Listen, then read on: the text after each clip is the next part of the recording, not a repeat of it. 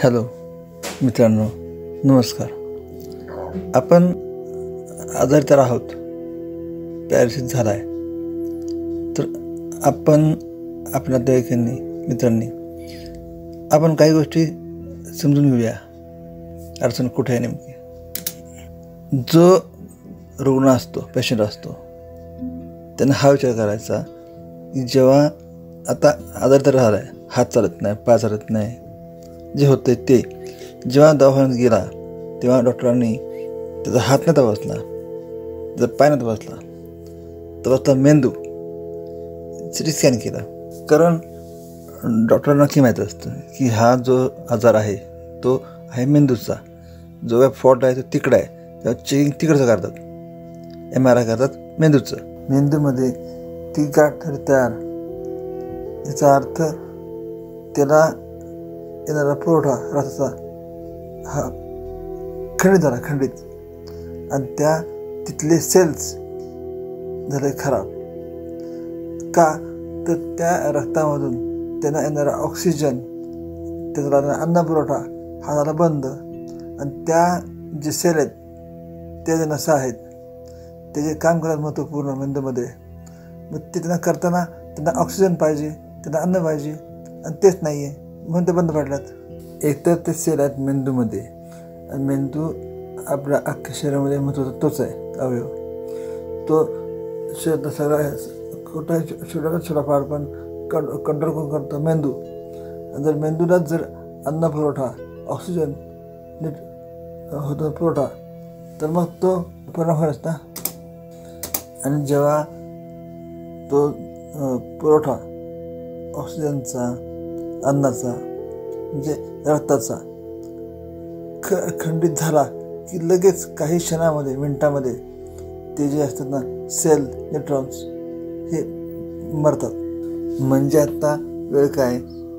व्हायचा तो परिणाम झाला आहे हां रक्त खंडित झालं आहे क्लॉट्स बन क्लॉट बन गठोडी बनलेले आहे. मग आत्ता प्रश्न असा असतो की हे कृपया टिकणार आहे? तर मग आपल्याला त्याकरता हे श्वसनांचे व्यायाम करून आपली प्राणशक्ती प्राणवायू ऑक्सिजन जर त्याला आपण केलं पाहिजे नियमित.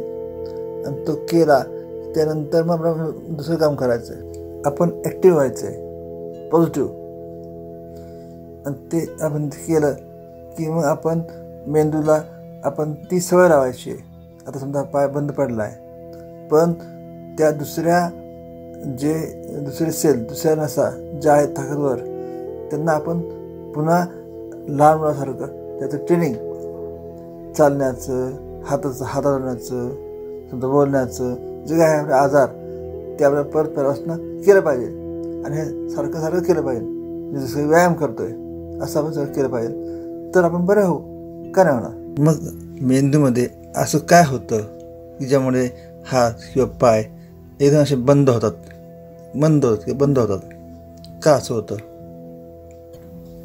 ॲक्च्युली जेव्हा पॅरालिसिसचा अटॅक येतो तेव्हा एकतर मेंदूमध्ये एखादी व्हेन जी आहे नस जी आहे रक्तवाहिनी ती होते बंद. म्हणजे एखादा तिकडं एक हे होतं प्लॉटिंग एक एक गाठ रक्ताची गाठ तयार होते. किंवा एखादी नस फाटते त्यामुळे मेंदूमध्ये होतो रक्तस्राव. ब्लिडिंग हे दोन गोष्टी. मग ही रक्तवाहिनी बंद झाल्यामुळे रक्तप्रवाह बंद झाल्यामुळे नेमकं काय होतं आहे किंवा रक्त जर वाहिलं जे नस फुटली आणि रक्तस्राव झाला तर नेमकं काय होतं काय? हे आपण समजून घ्या तर होतं असं की जी रक्तवाहिनी मेंदूकडे रक्तवाहिन रक्त घेऊन जाते. ती त्यामध्ये ऑक्सिजन त्या मेंदूला लागणारं अन्न पाणी हे देत जातात ना जे काय खाद्य असेल ते. मग हे थांबलं. तर हे थांबल्यानंतर किती काळ ते जे ते न्यूट्रॉ न्यूरॉन्स किती वेळ ते जिवंत राहू शकतात? हा मुख्य प्रश्न आहे. तर हे जे सेल आहेत जे इतर कंट्रोल करतात हे ह्या रक्तातून रक्तप्रपण झाल्यामुळे येणाऱ्या ऑक्सिजन आणि त्यांचं अन्नपाणी ह्याच्याशिवाय ते जास्तीत जास्त चार तासपर्यंत जिवंत राहू शकतात. त्या काळात जर आपण ते उपचार केले तर अटॅक थांबू शकतो. पण चार तासाच्या वर जर वेळ गेला असेल नंतरच आपण दवा गेलो असेल तर परिणाम होतो. मग तो भाग ते ते व्हॅन्स ते सेल्स बंद पडतात. आणि त्यां ते ज्या अवयवाला कंट्रोल करतात तो अवयव बंद पडतो किंवा मंद होतो. हा तो मुख्य भाग आहे. ऑक्सिजन आणि अन्न न मिळालं तरी पण ते सेल्स चार तास ॲक्टिव्ह राहू शकतात.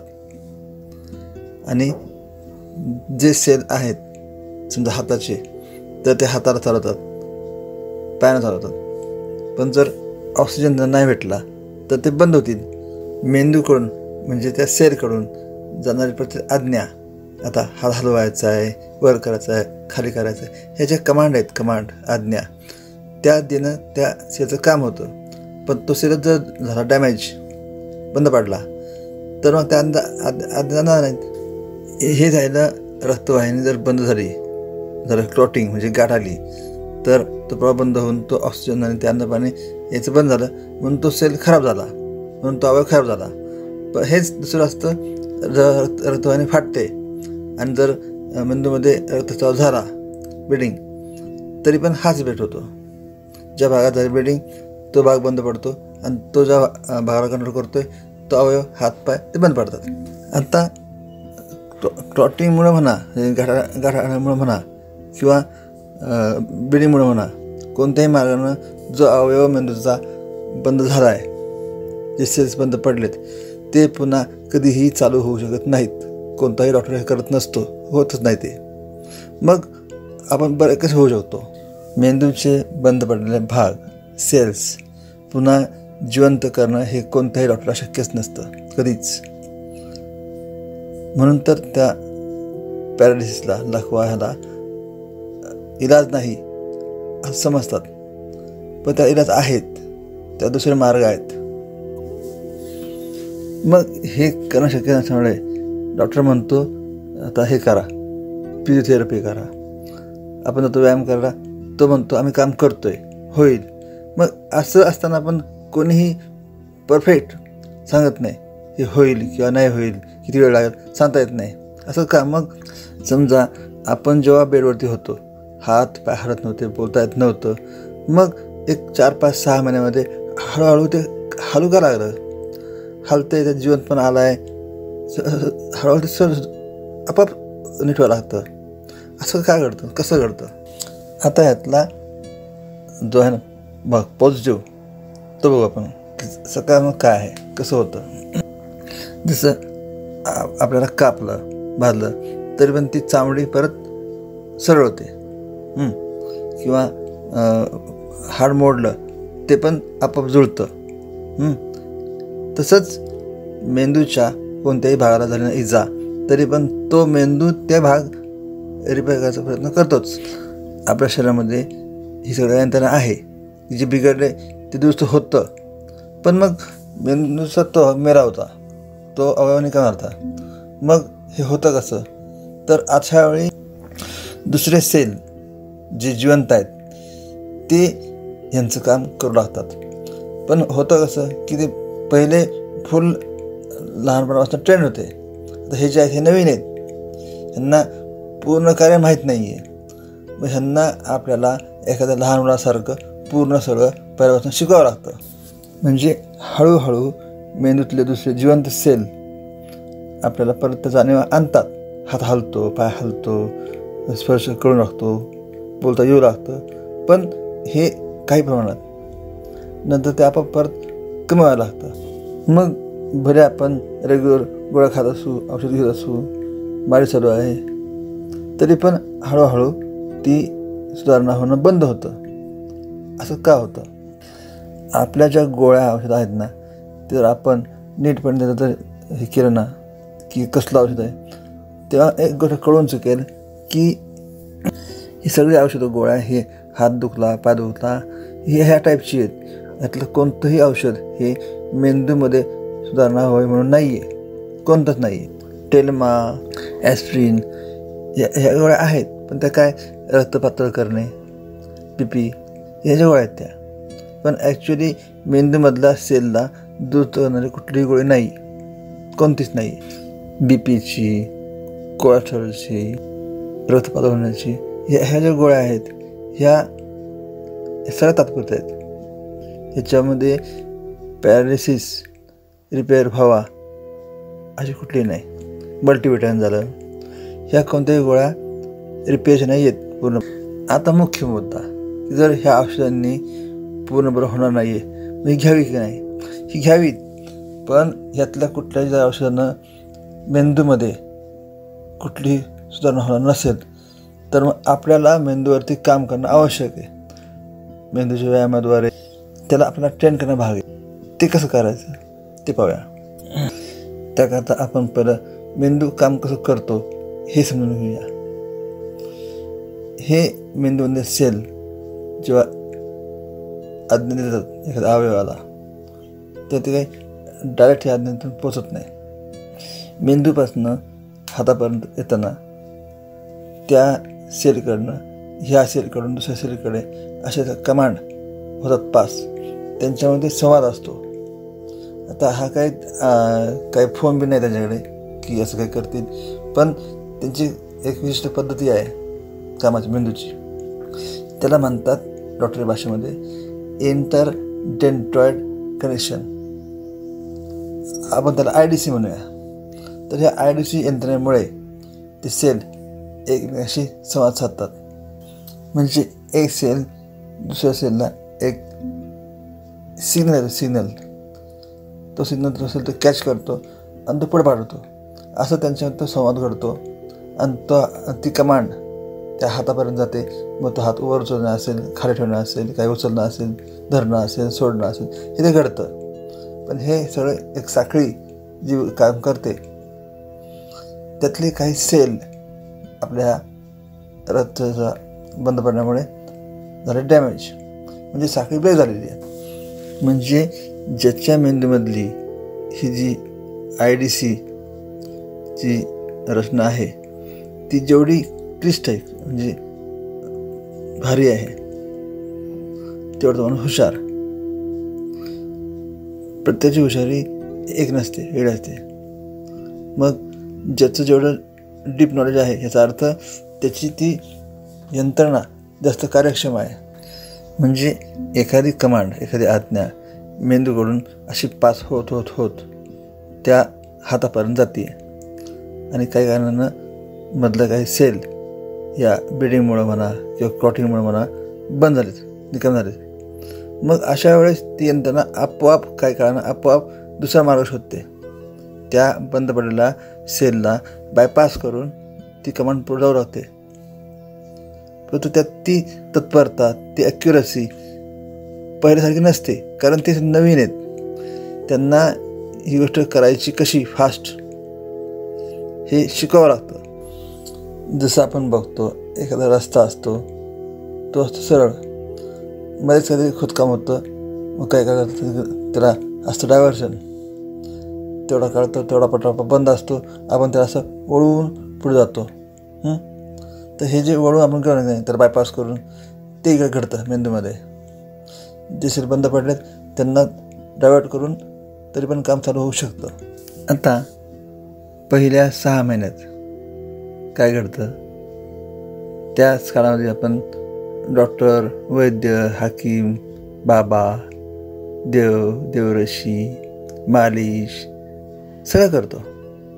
आणि सराचा परिणाम म्हणून काहीतरी चांगलं घडतं आहे आपण तब्येत सुधारती असं वाटतं. पण ॲक्च्युली तो मेंदू ते काम करतोच आहे. आपण हे काही नसताना केलं तरी पण त्याने हळूहळू सुधारणा केली असती. पण त्याच्या त्या सुधारण्याला एक लिमिट असतं. ते पुढच्या साठ महिन्यात संपतं. आणि मग नंतरनं आपण आता तब्येत सुधारली म्हणून गोळ्या बंद करतो माईस बंद करतो. पण त्यानंतर खरी जी व्यायामाची आणि खऱ्या गोष्टीची गरज आहे ते आपण करत नाही. आणि मग तो अवयव पूर्णपणे सुधारत नाही. म्हणजे मग मग नंतर ना डॉक्टरही म्हणतो आता बघा एवढं झालं आहे आता एवढं काही राहिले ते तुम्हाला आता जन्म सांभाळायचे पूर्ण शंभर टक्के बरोबर नाही. मी हा अनुभव मी घेतला आहे झालं त्यानंतर डॉक्टर म्हटलाच की आता तुम्हाला हे जन्म सांभाळायचं आहे त्यानंतर मी ह्याच्या गोष्टी आता करतो आहे हे ध्यान म्हणा हे व्यायाम जे मी तुम्हाला सांगणार आहे हे सगळं मी केले आणि त्यामुळे मी पुढची प्रगती खूप केली. फक्त बोनातला पूर्ण सुधार नाही आहे बाकी फिजिकली सगळं ओके आलेलं आहे. न हन पूर्णपणे अर्धा अंग न हलणारा पाय हात हे सगळं बंद होतं. सगळं आता सगळं सुरू झालेलं आहे. म्हणून तर मग हे कसं करायचं हे मला लोकांना शिकवायचं आहे त्याकरता मी सगळं करतो आहे तर असं आपण भरकटलो. पुन्हा मुख्य मुद्दा की आपण त्या मेंदूच्या त्या सेलला कसं ॲटिट करायचं? आहे बघा लहानपणापासून मोठं होईपर्यंत मेंदू फक्त आपला शरीराचा आकार वाढला डोक्याचा आकार वाढला. पण मेंदूतले जे सेल आहेत ते ते संख्या तेवढीच आहे. पण फक्त त्यातलं जे हे आपण आय डी सी म्हटलं इंटर डेंटल कनेक्शन हे कनेक्शन जेवढं दाट आहे तेवढं ते चपळ तेवढी हुशारी तेवढी कामं नीट होणार मग आत्ता त्यात ते काही कनेक्शन्स बंद झालेत ना मग त्याऐवजी दुसरे ॲक्टिवेट करणं हे आपण करू शकतो. आणि ते केलं तर आपलं जे काही बोलणं चालणं जे आहे ना ते सुधरू शकतंच. आपण जेवढा मेंदू समजून घेऊ तेवढं आपण नीट होणार आहे. जे आपल्याला दुरुस्त करायचं आहे चालणं बोलणं हात हरणं जे करायचं ना ते आपण करायचं आहे आपण ते केल्याशिवाय मेंदूला आपल्याला ते करायचं हे कळणार नाही. त्याला स्वतंत्र अक्कल नाही आहे त्याला आपण सांगायचं आहे की मला चालायचं आहे आणि मग तो ती चालणारी यंत्रणा आपोआप ॲक्टिवेट करतो. ह्याच्यानंतर सवय लावायची. किंवा चालायचे. म्हणजे आपण ते हल्लं पाहिजे. चाललं पाहिजे आपण. चालायचा प्रयत्न केला पाहिजे. हात हल्ला पाहिजे. मग त्याला कळत याला हात हलवायचा आहे मला नीट बोलायचं ना. मग मी सारखं बोलण्याची प्रॅक्टिस केलीच पाहिजे. सारखं आणि स्पष्ट. हे करायचं. ते होतं. मला स्वतःला अक्षरशः शब्द उच्चारण कठीण होतं. कठीण. आता जे मी बोलतोय ना हे माझ्यासाठी खूप आहे. खूपच. अति. तरी पण जे माझं मूळचं ओरिजिनल बोलणं आहे ना ते खूप फास्ट होतं. ते खूप सुंदर होतं. ते पण येईन परत येईन. आपण जेवढे प्रॅक्टिस करू ना ते होणार आहे. तुम्ही माझ्यासोबत करा. मी तुमच्यासमोर करतो आहे दो दोघांसोबत चेक करूया. माझ्याशी ना कोणत्याही व्हिडिओच्या चॅट बॉक्समध्ये संवाद करा. मग सांगा काय करायचं नेमकं? तुम्हाला काय अडचण काय आहे? सांगेन. हवं तर ना माझ्याशी झूमवर तुम्ही समोर व्यायाम करू शकता. मी करू दाखवतो तुम्हाला काय करायचं ते. आपण दोघं करूया. मला चॅटबॉटवर सांगा. आपण एक वेळ निश्चित करून घेऊ दिवसातली आणि व्यायाम करू ना सोबत. झूम ॲप करा इन्स्टॉल मला सांगा इतकं करायचं आहे आपण करूया. आपल्याला बरं व्हायचं आहे शंभर टक्के बरं व्हायचं आहे कितीही बंद असू देत तो चालू होऊ शकतो हे माझ्यावर मी सांगतो. माझ्यावर मी सांगतो. पूर्ण बंद होतो तरी पण होऊ शकतो चालू. तुम्ही होणार होणारच. आपल्याला जी गोष्ट करायची ना समजा हात हरवायचा आहे पाय हरवायचा आहे तर ते कसं करायचं हे एकदम पद्धतशीर व्यायाम करून मेंदूला सांगायचं आपल्याला. समजा एक बँकेचा कॅशियर असतो तो नवीन असतो. त्यावेळी तो हळूहळू मोजतो नोटा. पण काही दिवसांनी तोच माणूस फास्ट एकदम सर्र करून नोटा मोजतो. पट हे का? तर त्याच्या मेंदूने ते समजलं. तर काय करायचं आहे आणि तशा कमांड मेंदूने त्या बोटाने दिल्या. तेव्हा ती बोट झाली ट्रेन तोच माणूस ते काम फास्ट करतो. हे असंच आपण करायचं आहे हात हलवायचा ना मग तो कसा हलवायचा आहे त्याचा व्यायाम काय करायचा आहे हे मी सांगेन तुम्हाला. म्हणजे कसं आहे की जर चालायचं आहे चालायचं म्हणजे चाललंच पाहिजे. आपण झोपलो आहे आणि झोपून पाय हलवतो आहे हात हलतो आहे कमर हलते असं नाही. उठून उभं राहून चालता पाहिजे. चालायचं ना मग उठलंच पाहिजे. उभं राहायलाच पाहिजे. तर चालणार. त्याशिवाय झोपून जातात का? नाही. म्हणून झोपून पाय हालणं हात हालणं कमर हालणं हे चालणं नव्हे. उभं राहून चालणं हेच चालणं. न तोल पकड न आधार घेता. परफेक्टली करता येणं म्हणजे चालणं. थोडक्यात काय? तर आपण व्हायचं पॉझिटिव्ह. मला बरं व्हायचे मला उभं राहायचे चालायचे पळायचे बोलायचे. हे हे सगळं आपण करायचे ना मग आपण ते हळू करायला घ्यायचं आता. पॉझिटिव्ह. तेवढं लवकर बरं हो इतकं वेळ काढू तितका आजार जास्त बळा जाईल. त्यामुळं आत्ताच एवढं करायचं आहे त्यामुळं वेळ न घालवता आपण हे सगळं करायचं आहे लक्षात ठेवा.